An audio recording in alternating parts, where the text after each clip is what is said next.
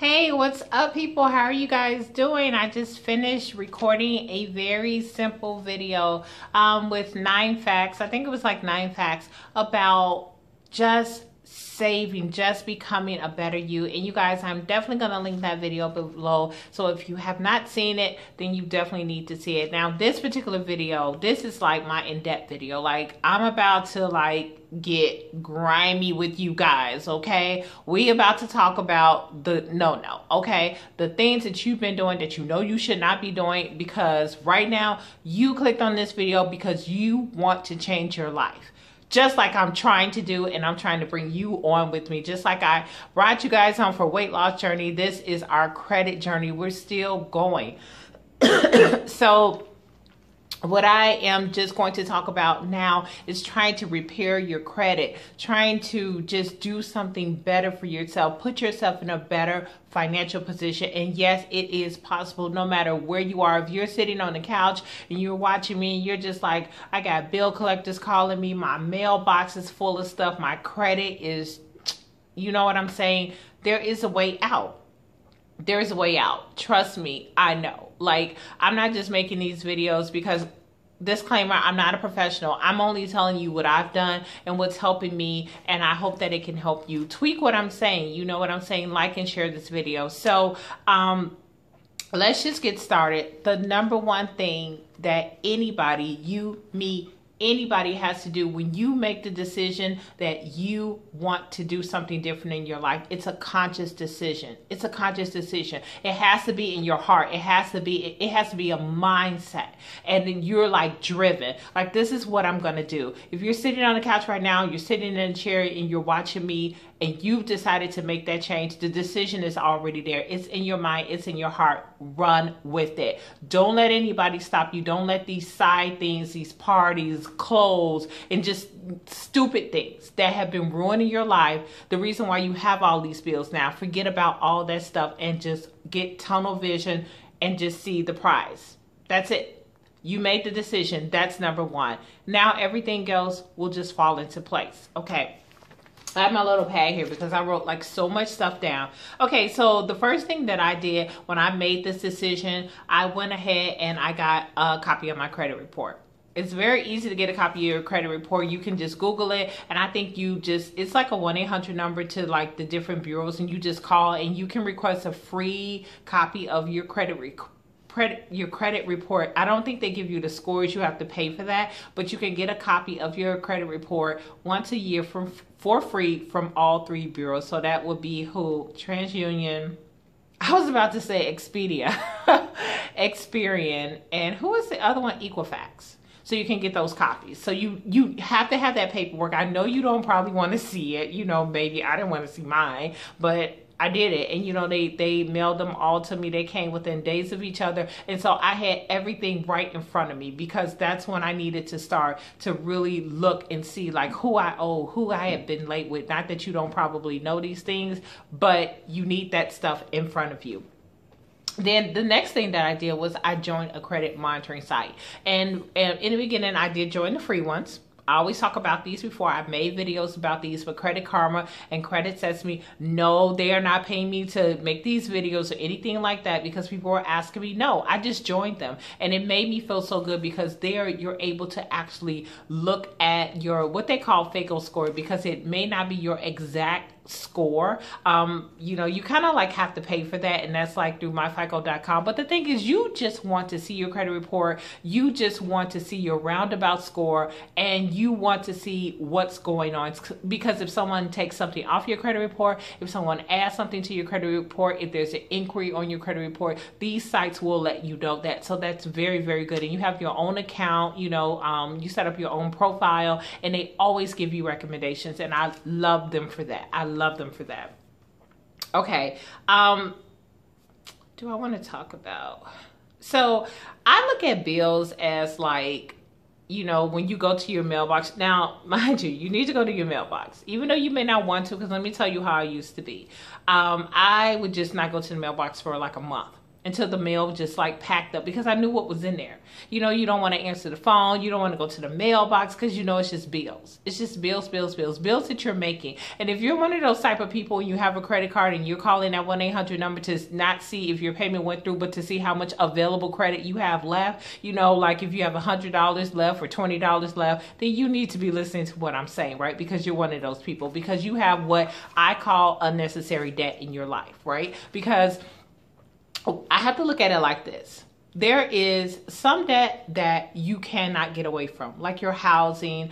Um, you may have a, you know, electricity, uh, you know, your phone bill, like recurring bills like that. That it's just a part of life, and you know, maybe your car note and you know your gas money, stuff like that. Those are just bills that you can't get away from, right? And then you have what I call unnecessary debt credit card bills, department store bill, clothing bills, payday loan bills, unnecessary debt that we keep accumulating. And when you go finance things, you know, through like secondary stores, um, just for just for no purpose, but just to have it, and you got approved for the credit. So instead of just saving up the money to pay for it, you get it on credit. So now you have another bill, and that's half of the stuff that's waiting for you in that mailbox, right? Okay, so that's what I call unnecessary debt that you have, and you are unable to take that money to do more purposeful things with them because maybe you want to buy a house, you know, or maybe you you want to um, I don't know, pay college tuition for your children, or you just need to like save up for your retirement, whatever it may be. But this unnecessary debt that's weighing down on you,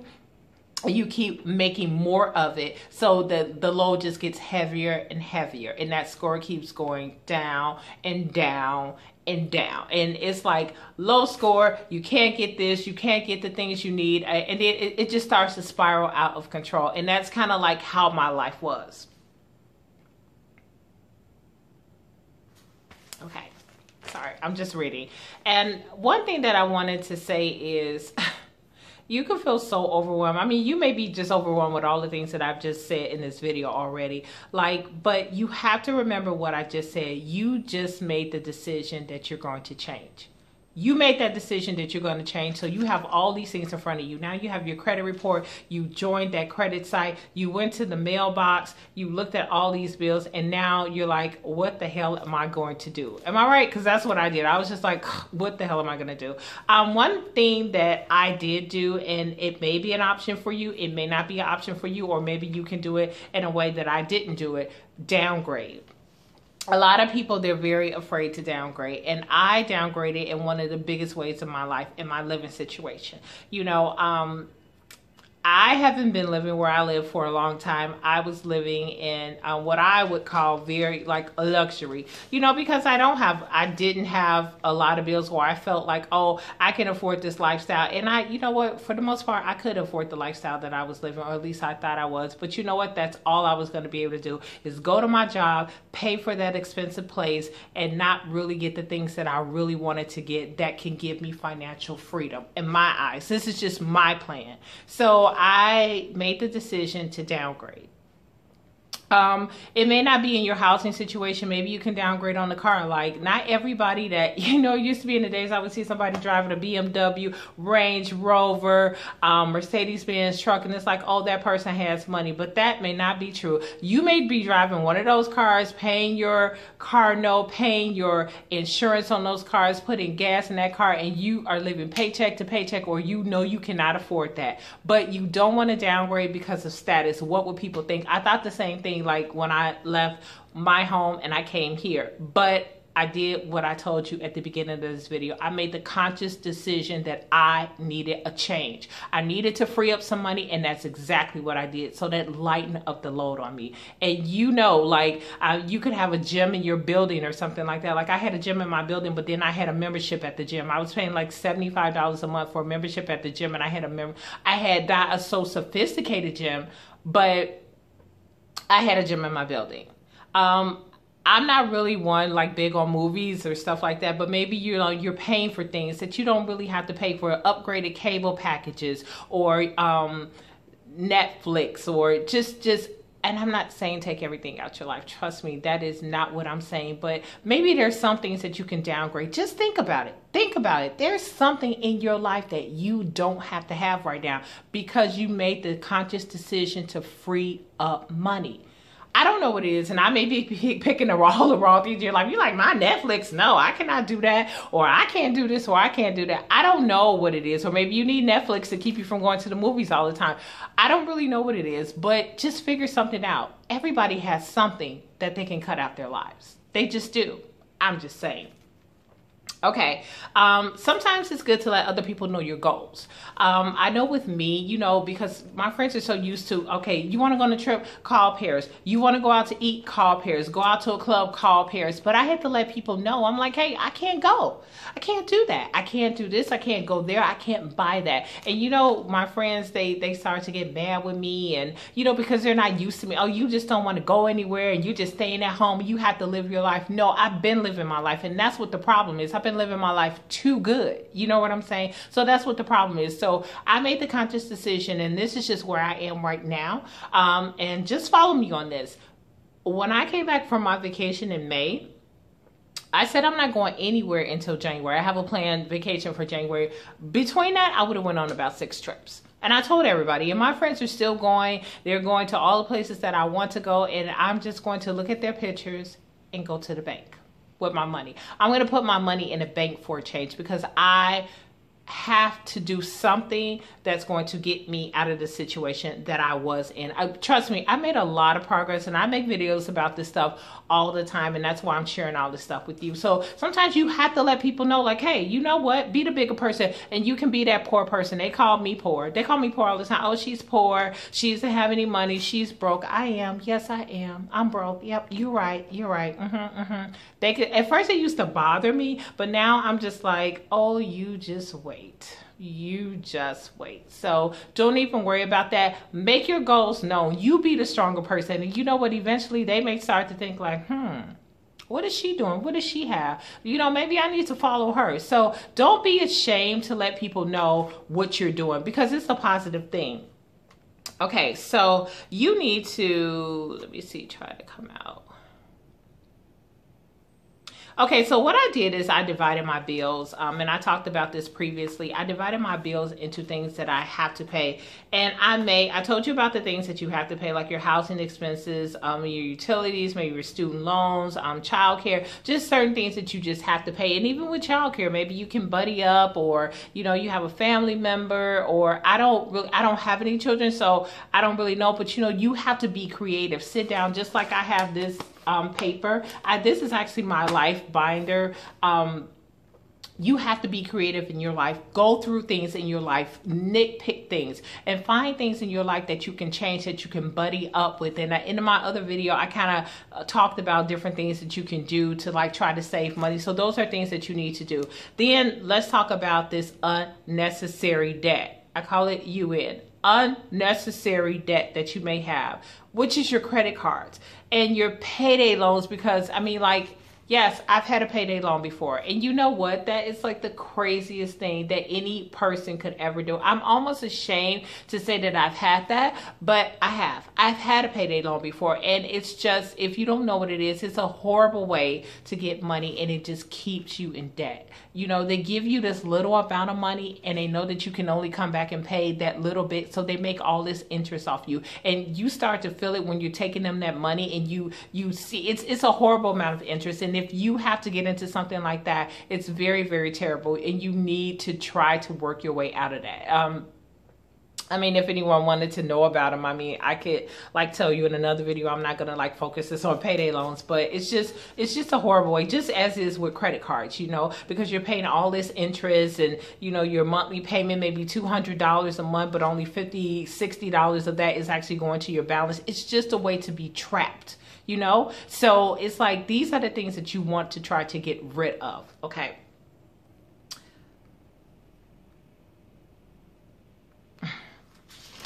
I talked to you about that.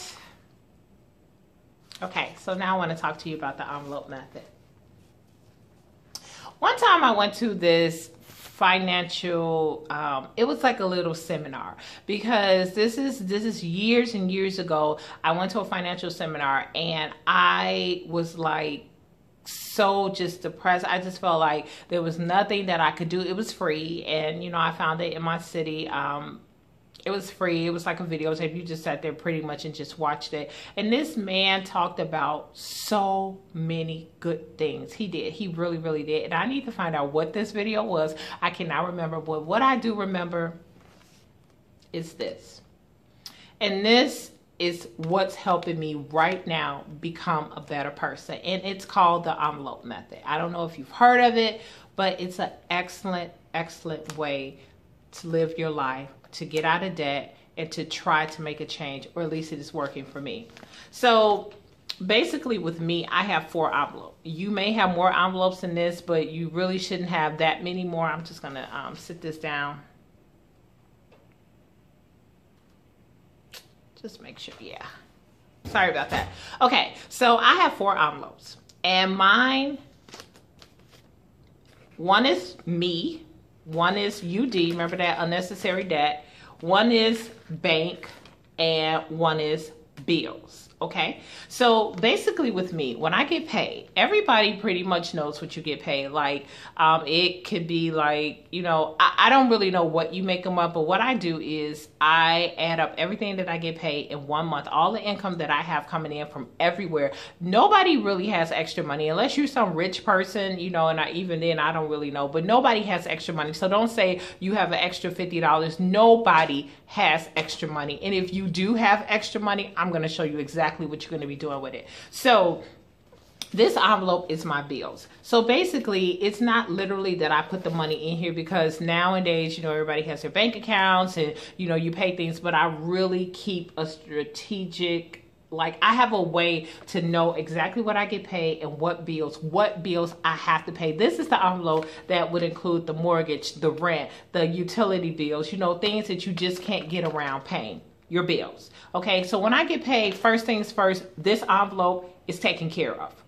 This envelope needs to be taken care of. Your bills, okay? No way around it.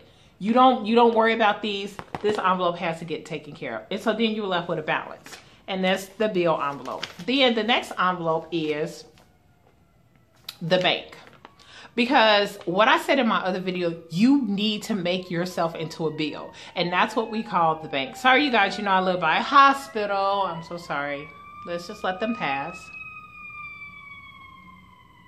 Okay, so I label mine the bank slash me as a bill. This is me as a bill. So this means that you need to come up with a certain amount of money that you're going to pay the bank every single month. And don't just put this, like for me, I don't put this where all my money goes. I don't put this where I can readily get to it. I actually joined a credit union. I have no checks, no cash station card, no anything. And I don't care if you are putting $10 in here, $20. You come up with a set amount. It's a bill now. And you put that money in this envelope or take it to the bank. You know what I'm saying? Take it to a bank, take it to a place that you can't get to so easily. That envelope is gone. So now you know that was your paycheck, right? That was your paycheck, am I right? Then your unnecessary debt. Once you get all these bills together, you know all these bills and whether you're consolidating. And you know i can go more in depth about like you know like if you're going to consolidate some people may have filed bankruptcy and you're doing the right thing. You're and it, it's not like a death sentence because you filed bankruptcy. You can come out of bankruptcy. You can start to get your credit back together as soon as you come out or even while you're in bankruptcy. You know what i'm saying? So don't think that's a death sentence. And uh, you know you may be doing with me i went to like a credit counseling. This was like years and years ago where someone actually helped me take all my bills, helped me negotiate with the people, and I was just paying one monthly bill until I just paid everything off, minus my student loans. Okay, so that's what I did. Um, and I can talk more about that too if you guys want me to, if you, you know, ask me to make a video about it. But that those were the things that I did because unnecessary debt, those credit cards, all this all this revolving unnecessary debt that you don't have. You need to come up with a plan and you need to pay it. Every single month. The same way they would make you do in bankruptcy, the same way they're going to make you do in credit card consolidation or credit card counseling. They're going to make you pay one payment every single month and you need to come up with that amount. You need to talk to your creditors. You need to whoever you're going to do bankruptcy, consolidation, whatever you're doing, you need to pay your bills every month. And guess what's left? Me. Me doesn't take, you know, that in most people's lives, me comes before everything. Me is first. You start putting money in this envelope first, and that's how you get in trouble. You are last. This is the me envelope. This is different from the, the me envelope for the bank. That's the bill that you're paying. This is what you go out with, what you eat with, what you party with, what you drink with, what you travel with. This is the me envelope, okay? Then you put something in here. That's what you have left. After all this stuff is taken care of, this is what you have left. So let me tell you, for me, after I, you know, bought my food, and of course, you know, you may want to have like, um, you know, your grocery bill and everything because you do have to eat, but, you know, smart. You need to cook. You need to cook. You need to take that lunch to work. You need to stay out the restaurants. Okay. You need to meal prep. You need to do those things. Okay. So let's go to this me envelope. Let's talk about me personally. So last week I was setting up and, you know, I was looking at my bank account and I had that uh, extra money. There is no extra money. That extra money, I was like, I'm taking over to the bank. I put that in the bank envelope and that went over to the bank. And what I left myself, I left myself $159, okay, for me. And that was over a span of almost 10 days or two weeks almost two weeks. This is after I bought my food. This is just what I left for myself. And and what I did is, you know, I went out and I did a couple of things and I said that anything that I had left over, I was going to I was going to take that to the bank too. Anything that I had left over if I did have something over, but I didn't feel guilty because that's what I left for me to enjoy life, you know? And you can either make a subdivision of this envelope and maybe you have like a me and, you know, for vacation, you know, make a little you can have as many envelopes as you need to. Like if you want to have vacation, have a vacation envelope but you have to stick to this method. It makes so much sense and it works out. It really, really works. So let's let let me bring you up to speed. Now, I don't get to have another fill up of this me envelope until Friday when I get paid. I have $29 left. and um, I don't really have $29 in my account, but you know what I'm to do tomorrow? What I would have done before I started doing this, the money that I had, oh, I have some extra money let me go buy me a new outfit. Let me do this. Let me do that. No, that money is going to the bank. That is going in the bank envelope. And I have $29 because that's what I set aside for myself two weeks ago. And that's still what I'm going. So case in point, my friend went and um, the reason why I have $29, my friend went to a winery and I'm not even one for like alcohol like that, like actually liking alcohol, but this wine was so good. And she was at the winery and each bottle was like $14. And she's just like, you know what? Oh my God, like I'm getting me six bottles. And I was like, mm, at pretty much $15. I'm thinking like, I can't afford to get six bottles because I only have this certain amount of money in my meat me envelope. So I told her to give me two bottles, which brought me to like $35. She brought me the two bottles and I guess I'm going to just be sipping that I'm going to be sipping that until I replenish this. And if I choose to spend my me money on wine again, you know, this week, which I'm not, I have two bottles, I'm going to drink it slowly or something like that. But you get the point that I'm saying, right? you can't look at extra money in your account because there is no extra money. You can't look at money in your account like, okay, I, I paid everything and now now I um I have this money to just spend. No, you don't. Because if you do, then put it in your unnecessary debt envelope and pay something off there. Pay something off early or save it, however you want to do it. But put it in one of the positive envelopes and not the, you know, just just doing things. And that's how you have to do. That's what i've been doing and I, have been doing it now for a month and it's working out for me. And if you need to if you're going on vacation or you're doing something then maybe you need to have a vacation envelope. And then you know pay for your things. Don't don't just throw everything on your credit card. You know like like make a plan. Like i have a plan. I'm going on vacation in january. So i already have a plan out that how i'm going to start saving for this vacation how i'm going to pay. I'm not putting anything on my credit card. For what? So when i come back home i got to worry about i have to pay for for this vacation or you have to still pay for something five years after you've done it. No, just pay for it now. Make that sacrifice. Do that downgrade because guess what? What did I say at the beginning of this video? You made the decision to change your life. You made the decision to get out of debt. Try this method, okay? And I know like I was so probably confusing with this video because I'm just talking about different things, but I just I was so excited to tell you about this because it really really does work. If you do it, you stick to it. Stop making me, this me first you know what I'm saying? And make those other things first because you have a goal. If you don't have a goal, you know, then hey, keep doing what you're doing. Keep keep waiting to go to the mailbox every month. Keep letting your phone ring with 1-800 numbers. Keep watching your score go from 6 to 5 to 4, your credit score. You know what I'm saying? Because no matter how much people say credit scores aren't important, they kind of are. You know what I'm saying? Because you can't do nothing with a bad credit score, not even move into an apartment. And we both know this, okay? So i hope you guys found this video informative. I hope i didn't sound like a mom and i hope i didn't confuse you.